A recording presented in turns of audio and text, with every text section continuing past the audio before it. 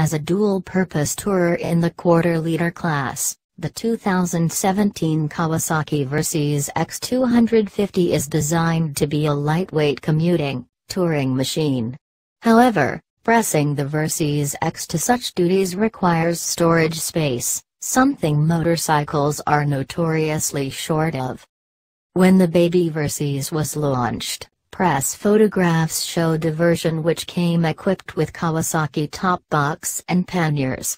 However, during the Versys X media ride, we were informed that Kawasaki Motors Malaysia would not be bringing in the OEM luggage version, even as an option, as it would make the price prohibitive.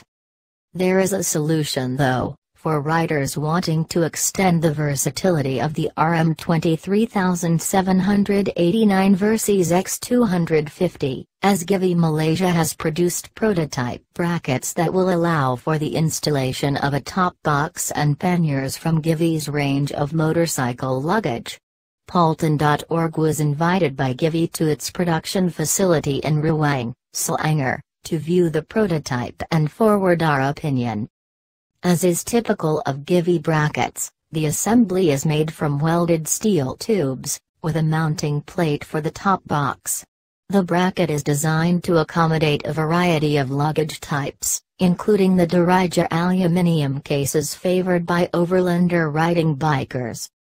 The prototype we viewed came equipped with a Givi B37N top box and D22 panniers, and we were informed an aluminium bracket is being constructed for the X250.